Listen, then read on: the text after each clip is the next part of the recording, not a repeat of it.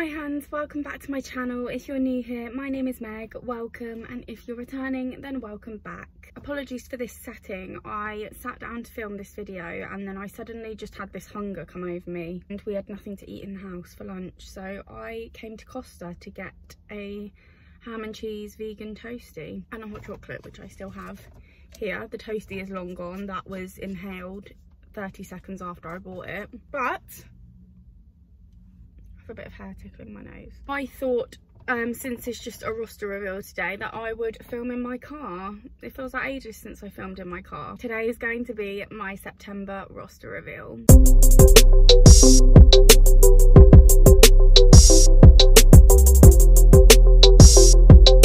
So as always, I am going to start the roster reveal by telling you what I bid for for the month. So I placed a few more bids than last month this month um, because I'm kind of getting the hang of it now. I placed six bids in total, the first one being for the weekend after my birthday off. So my birthday is the 14th of September, but it's a Wednesday and I wasn't overly fussed about having my actual birthday off.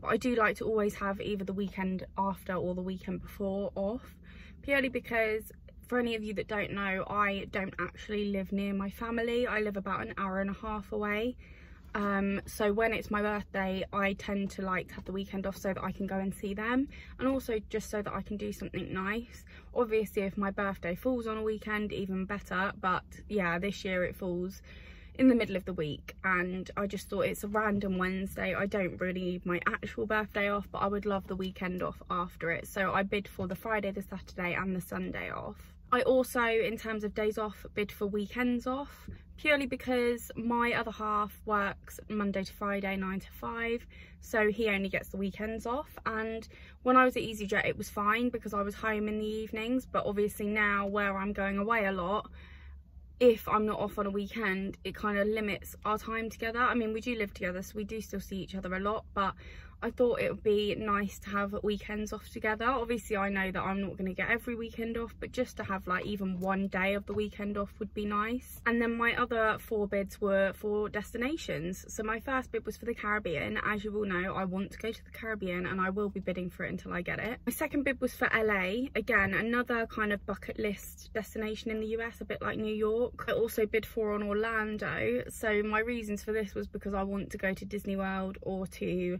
Universal Studios or to one of the water parks.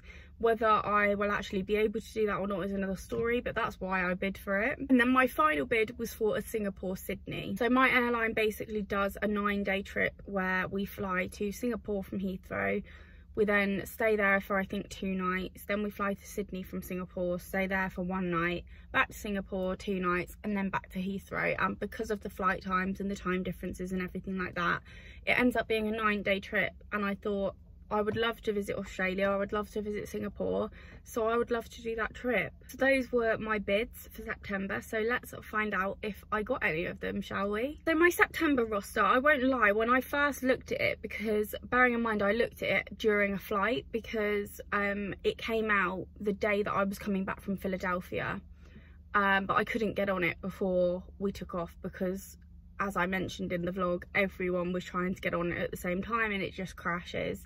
However, we do actually have access to our rosters in flight as long as we connect to the Wi-Fi because you're allowed to use like work related apps in flight without paying for the Wi-Fi bundles. And so on my break I managed to get onto it and at first I was a little bit disappointed with it. You'll see why. But I do understand that I'm still new and that's probably why my roster has been planned out the way that it has been. But it's still a good roster. I've still got some good trips on there and I'm still excited for it. So some of you may remember if you watched my August roster reveal that the last month of August currently is a singular lonely available day and I thought that this might turn into a block of available days but it hasn't. I have a block of five, the first day obviously being the available day and then on my day one I have a Geneva there and back and that is followed by a Milan standover. So a standover essentially is kind of like a three day long haul trip but it's a European destination, so it's called a standover. Essentially, it's not just one night stop, it's two nights there rather than one, and it means that I have a clear day there, which is amazing because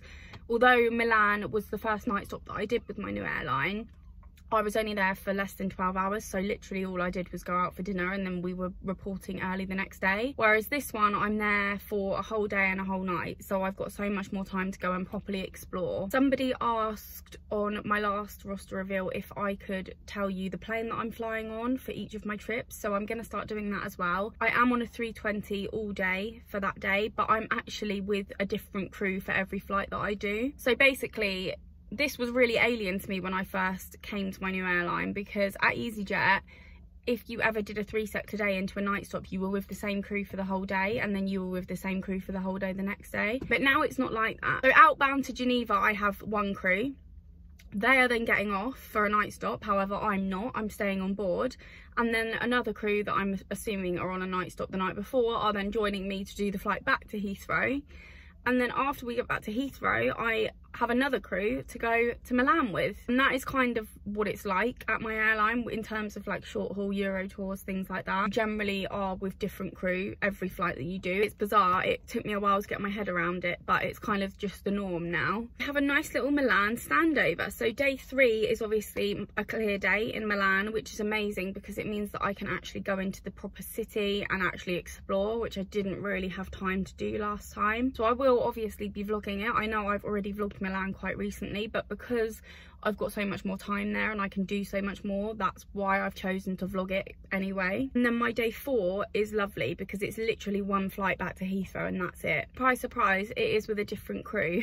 So the crew that I'm going to Milan with are obviously only on a night stop, so they're going back the next day, whereas I've got a standover, so I'm not going back until the following day. That is day four, and then day five, I have a Palma there and back. And that whole block of flights, my Geneva, my Milan, to and from, and my Palma are all on a 320, which as you know, is my home from home. It's what I'm so used to flying on at EasyJet. I then have a lovely two days off after that block. After my days off, I actually have a four day mini Euro tour and I say mini because it's only two destinations but I'm still gone for four days. Let me explain. Day one is a Zurich there and back followed by a Dusseldorf night stop which I really got my fingers crossed that I'm going to keep because I didn't get to do my Stuttgart night stop that I was supposed to do in August. Actually by some miracle I'm with the same crew for this whole Euro tour together with I'm with them for the Zurich, I'm with them for the Dusseldorf and I'm then with them for the rest of the week as well, which never happens after I've literally just sat here and explained to you that we're always with different crew. I'm actually with the same one for this whole trip.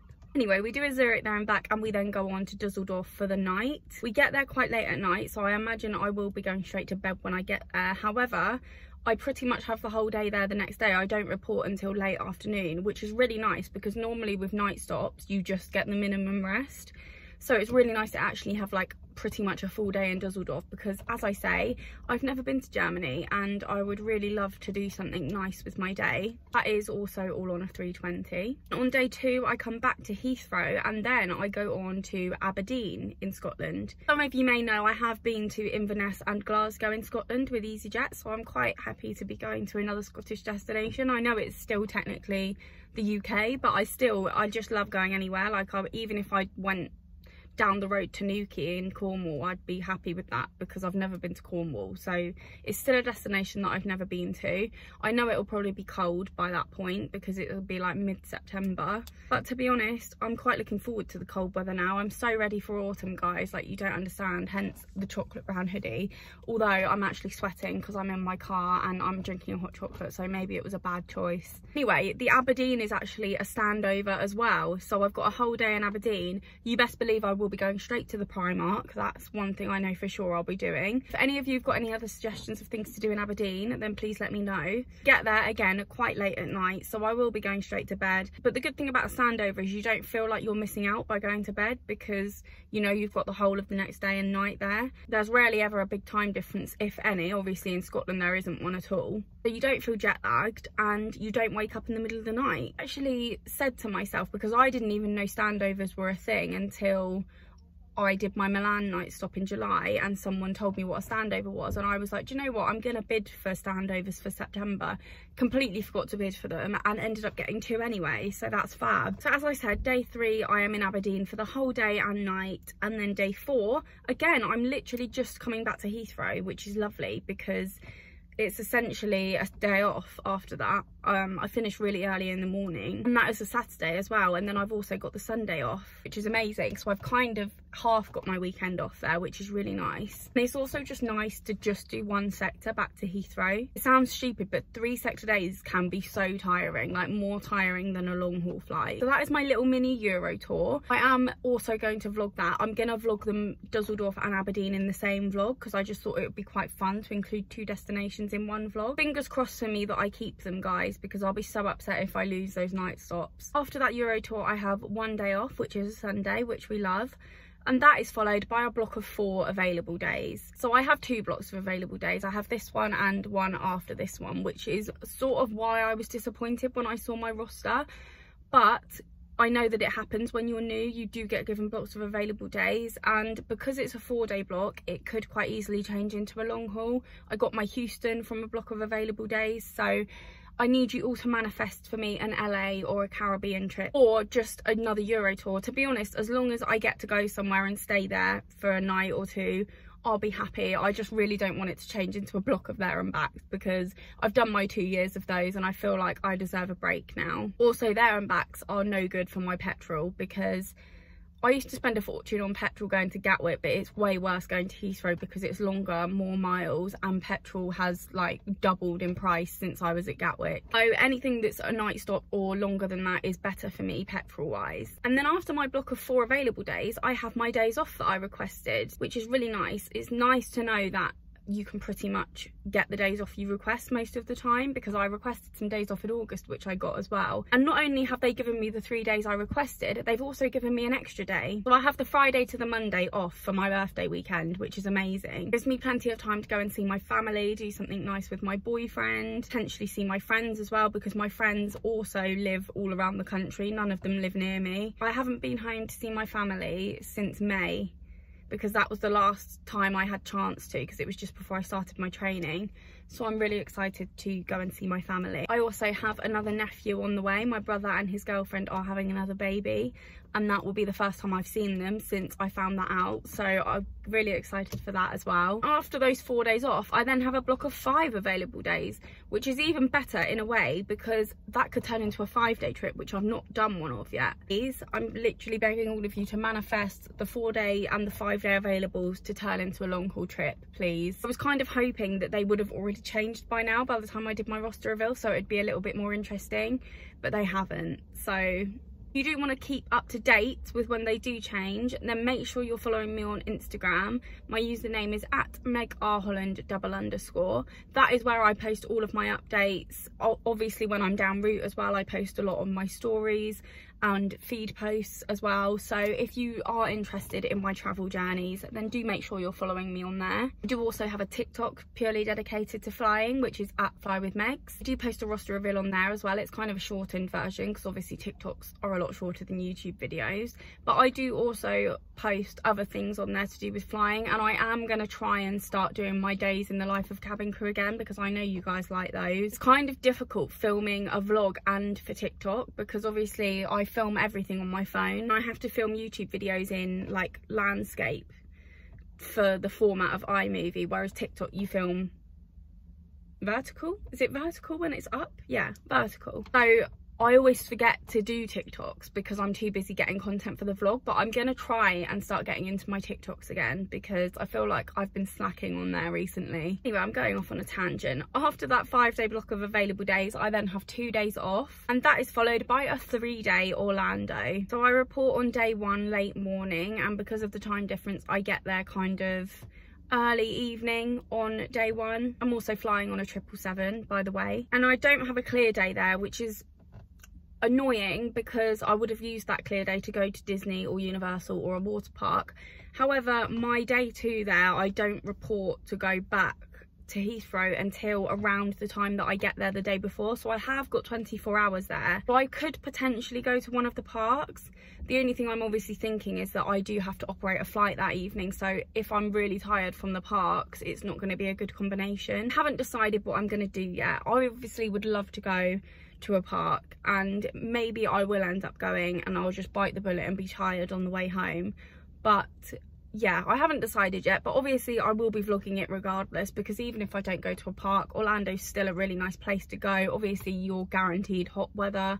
They've got a good shopping mall there. Sure the hotel's got a lovely pool as well. So don't worry, I'll still be vlogging it and you will find out in that vlog what I decide to do. For any of you are crew and have done a three day Orlando and you've been to Disney before or any of the parks before, then let me know how you did it because I would love to find a way around it because I don't think we do a four day Orlando at my airline. We do a four day at LA though which I know LA does have Disney parks and I think it has a Universal as well. So maybe I could go when I eventually get in LA. As I was saying, I report to fly back um, early to mid-evening on day two. And then I arrive back kind of mid-morning on day three. And then I'm finishing off the month with a day off, although I feel like I will have two days off after that trip because I'm pretty sure you have to have two days after a long haul. So I'll probably end up having the first day of October off as well. That guys is my September roster reveal. I really hope you enjoyed this video. If you did, please give it a big thumbs up and subscribe to my channel if you haven't already. Thank you all so much for watching and I will see you in my next video.